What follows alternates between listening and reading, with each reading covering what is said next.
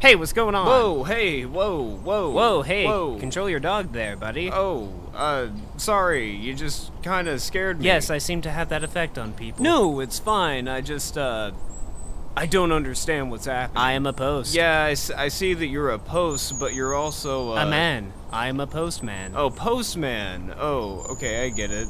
So, how did this happen? Well, one day I blacked out, and when I woke up, I was a post.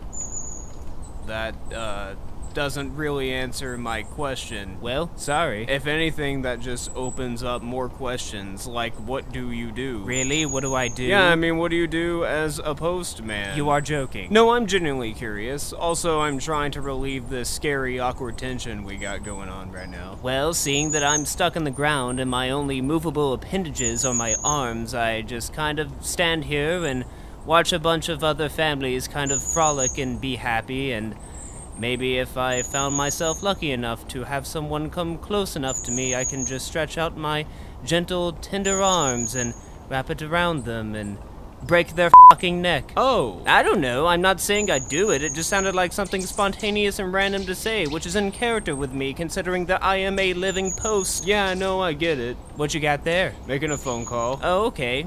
Who are you calling? 911, Nobody. What's your emergency? I'll break your fucking neck.